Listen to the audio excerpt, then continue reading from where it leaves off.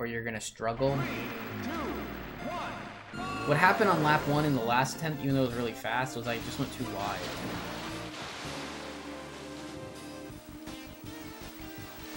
The ball was really, really fast and, and a good time and a strong start. I went really, I went like too wide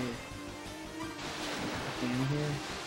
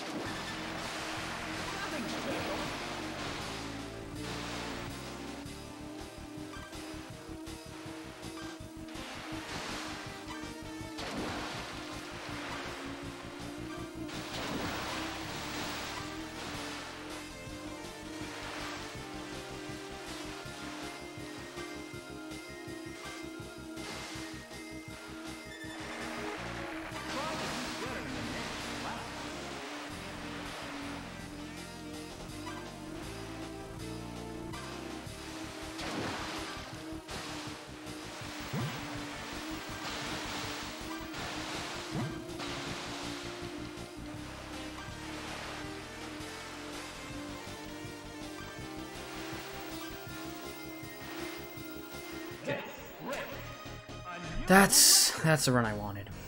Okay. I'm done with the course very likely for the week.